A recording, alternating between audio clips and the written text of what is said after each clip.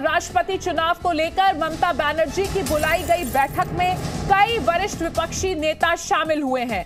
कांग्रेस की ओर से मल्लिकार्जुन खड़गे, जयराम रमेश, रणदीप सुरजेवाला इस बैठक में मौजूद हैं। जबकि नेशनल कॉन्फ्रेंस से उमर अब्दुल्ला और पीडीपी की तरफ़ से महबूबा मुफ्ती भी इस बैठक में शामिल हुई हैं। समाजवादी पार्टी की तरफ़ से अखिलेश यादव और एनसीपी की तरफ़ से शरद पवार भी बैठक का हिस्सा बने हैं। शिवसेना के सुभाष देसाई भी इस बैठक में शामिल हुए हैं। तो ममता बनर्जी ने दिल्ली में ये बैठक बुलाई है। ममता बनर्जी की अगुवाई में ये बैठक हो रही है। इसकी तस्वीरें भी हम आपको दिखा रहे हैं और इस बैठक में तमाम वरिष्ठ विपक्षी नेता शामिल हुए हैं।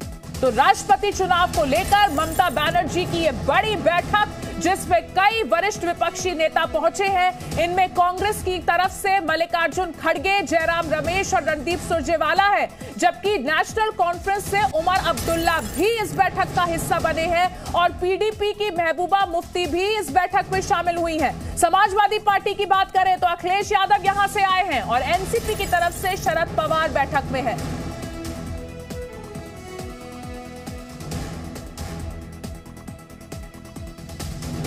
तो ममता बनर्जी की अध्यक्षता में यह बैठक हो रही है।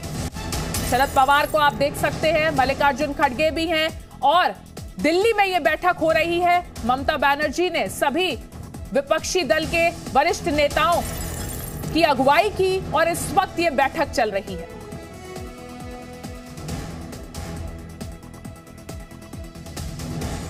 तो तस्वीरें आपको दिखा रहे हैं। विपक्षी दलों की ये अहम बैठक है। राष्ट्रपति चुनाव को लेकर ये बैठक हुई है और इस बैठक में लगभग सभी विपक्षी दलों के वरिष्ठ नेता शामिल हुए हैं। ममता बनर्जी इस बैठक की अगुवाई कर रही हैं। हालाँकि जो जानकारी मिल रही है उसके मुताबिक आम आदमी पार्टी इस बैठक में शामिल नहीं हुई है। तो इस वक्त जो जानकारी मिल रही है उसके मुताबिक आम आदमी पार्टी इस बैठक में शामिल नहीं हुई है Presenting B News app available on Google Play and App Store. Download it now.